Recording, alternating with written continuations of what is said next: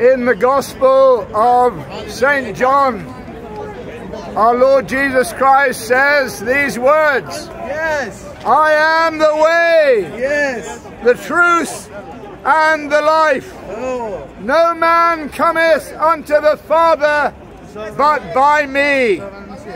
Jesus Christ is the exclusive way to God. There is no other way. When the Muslim prays, Sirat al Mustaqim, they're saying, Show us the way, Allah. And Jesus answers your prayer so that you don't have to keep praying, Allah, show us the way. Because Jesus Christ says, I am the way, I am the truth, I am the life. No man comes to God the Father except by me, Jesus said. So the only way back to God is through the Son of God who loved us and gave himself for us. Jesus himself said before the Roman governor Pontius Pilate, he said, I have come to bear witness unto the truth. Is of the truth hears my voice. And though it's present continu- present continuous, goes on hearing my voice. So if you are of the truth and I am of the truth, we will come to the Lord Jesus Christ. We will go on hearing his word. Jesus Christ himself said of his followers, My sheep hear my voice, and they do not listen to the voice of strangers. They don't know the voice of strangers. He said, I know my sheep, and I give them eternal life, and they shall never perish, neither shall any man pluck them out of my hand. If you're a sheep, and in the Jewish law, a sheep was a clean animal. Why? Because it chewed the cud and parted the hoof. The pig was an unclean animal because it parted the hoof, but it didn't chew the cud. And so the pig was unclean, the dog was unclean. The dog does not chew the cud, neither does it part the hoof. And so Jesus said that his followers were clean animals, clean sheep. He said, I am the good shepherd, and I know my sheep, and am known by mine. Jesus Christ said, I give to my sheep, or my followers, eternal life, everlasting life. That means he is from everlasting. Those of you who think that Jesus Christ began his existence when he was born of the Virgin Mary, you're mistaken. He gives eternal life. I give them eternal life, everlasting life, and they shall never perish, neither shall any man pluck them out of my hand. My Father that gave them me is greater than all, and no man is able to pluck them out of my Father's hand. I and my Father are one. And so Jesus Christ claims oneness with the Father. So, how do you say there are two or three gods when Jesus Christ said, I and the Father are one? One God, Father, Son, and Holy Ghost. One God, Father, breath, and Word. And we are made in the image of God. We are made to be reconciled to God.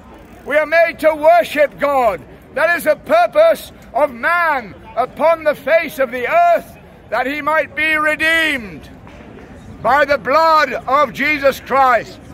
And in the Jewish law, we are told in Leviticus chapter 17 and verse 11, we are told that the life of the flesh is in the blood.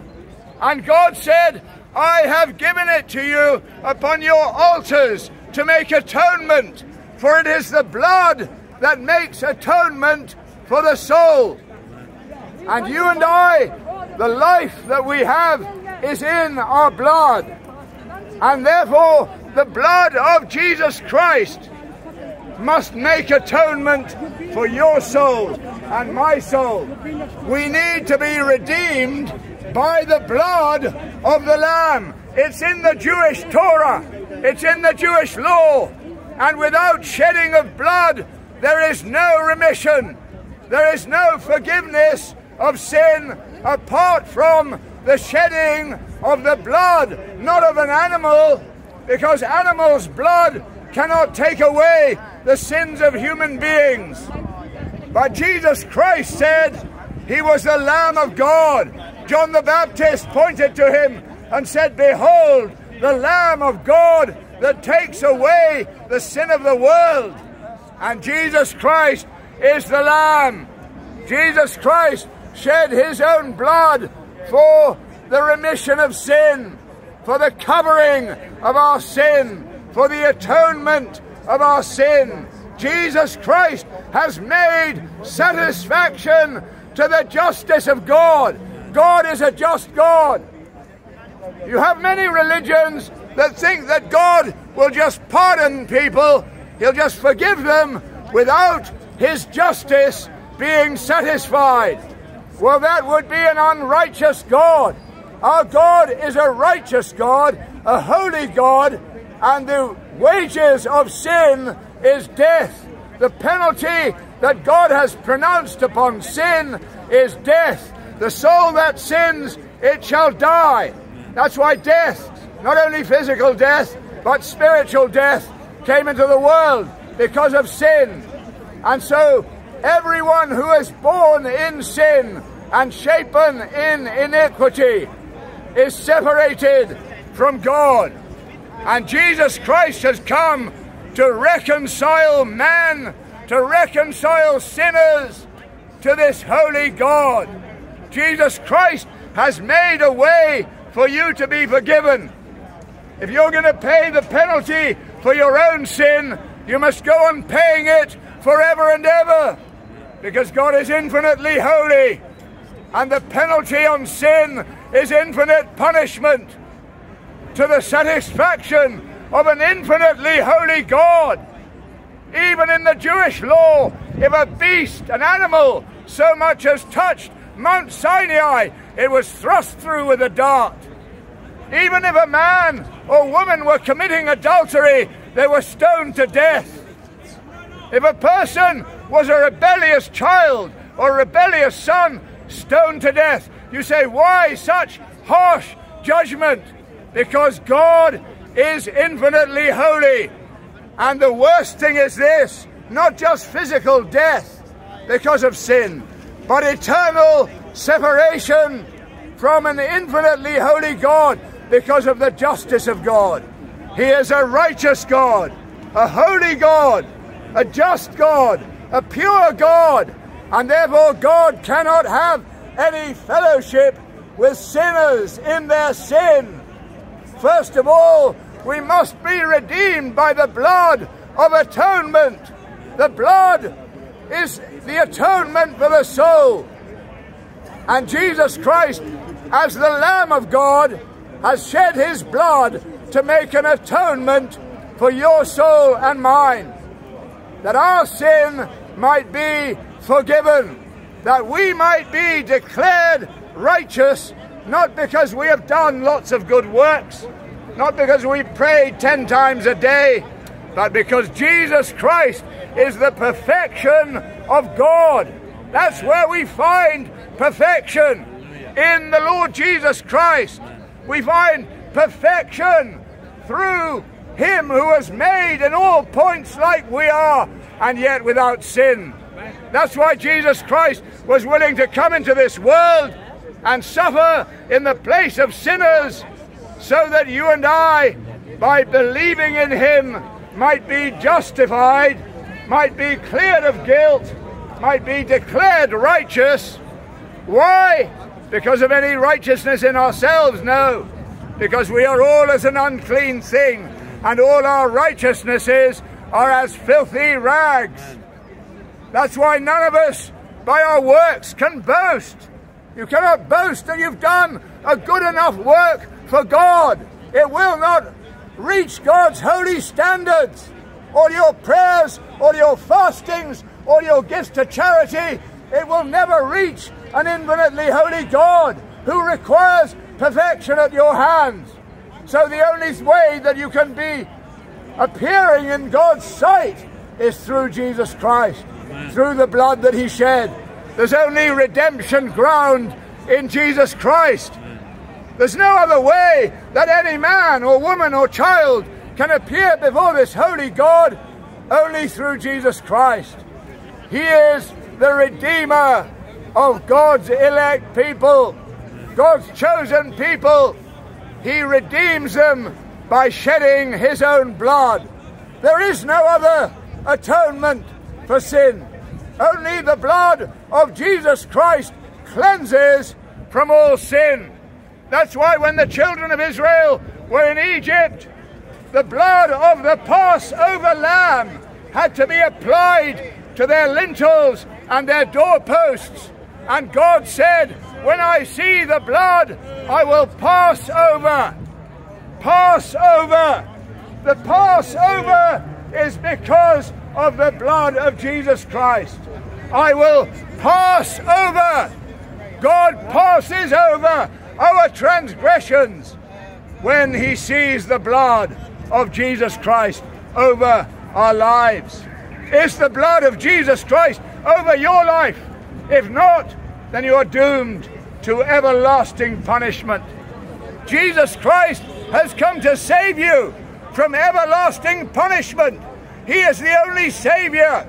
Neither is there salvation in any other, for there is none other name under heaven given among men whereby you must be saved. Amen. You must be saved. There is a must for you. You must be saved from sin. And the only way to be saved from sin is because Jesus Christ has made satisfaction for sin by going down into death. The only way that God's justice is satisfied against sin is by Jesus Christ, the sacrifice, the Korban, God giving himself for our sins in the person of his beloved Son. God, of course, God cannot die. God is omnipresent. God is omniscient. God is omnipotent. But in Jesus Christ, God is giving himself in sacrifice for our sin, for your sin and my sin. And those who believe on the Lord Jesus Christ have the assurance that their sin has been laid upon him. He is the Lamb of God that takes away the sin of the world. As far as the east is from the west, so far he removes our transgressions from us. And this is the great news of the gospel. This is the good news. But the question is, have you received him? We're told in John chapter 1 that he was in the world, and the world was made by him, and the world knew him not. He came to his own, and his own received him not. But as many as received him, whether Jew or Gentile, to them he gave the power. And the word in the Greek is exousia, the adoption right to be the children of God. Amen. That's what he gives. That's what Jesus Christ gives to those who are born not of their pedigree, not of blood, not because they've lived a very good life, not of the will of the flesh, not of the will of man, but he gave eternal life to those who are born of God, Amen. born from above. Amen. Have you been born from above? Yeah, we met before, John. Yes. Yes, I'm a total believer in Jesus Christ, the Almighty God and Savior. God bless you, John. So, do you want to come and speak? Yeah, I can come and say something. Thank you, John. I may not speak. Well, let, let, let, uh, come break. Come.